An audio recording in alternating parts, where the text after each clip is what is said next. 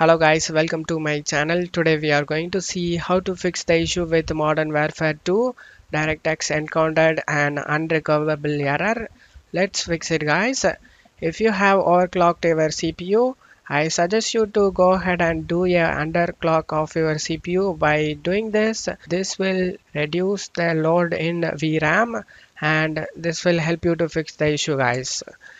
Next thing you just need to right click on the start icon and select device manager. Expand the display adapter section and right click on the graphics card driver and select properties. Select the driver tab. In driver tab if you have rollback driver option available go ahead and select the rollback driver option guys.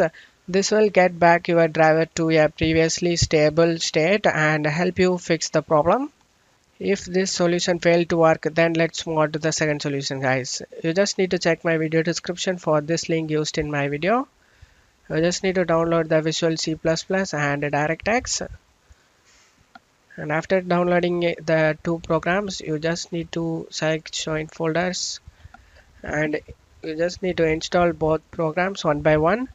I have installed already. That's the reason I am not going to install it once the installation complete you just need to go ahead and restart your pc after restarting your pc check if the problem solved or not. If not let's move on to the next solution guys. You just need to open up discord.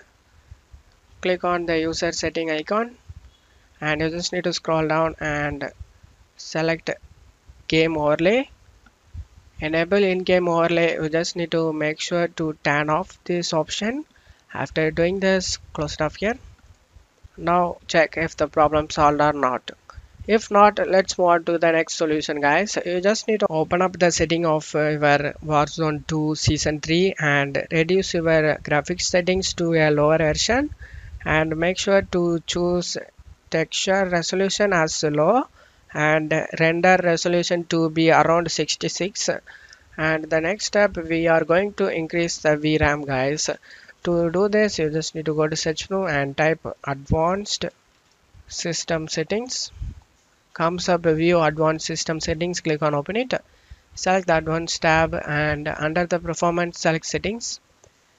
In here select advanced tab and under the virtual memory select change.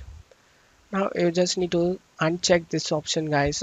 Automatically manage paging the file size of all drives. You just need to uncheck it after doing this whichever drive you install the game you just need to select it.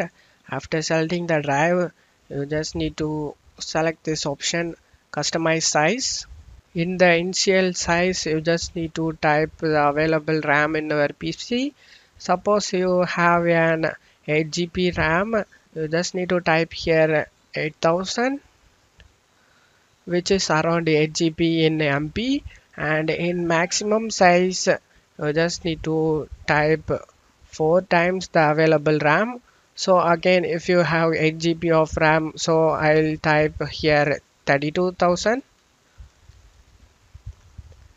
which is near equal to four times available revenue of my PC you just need to select the set option and select OK and the changes you made request you to restart your PC before they can take effect. You just need to select it ok and go ahead and restart your PC select the restart now option restart it.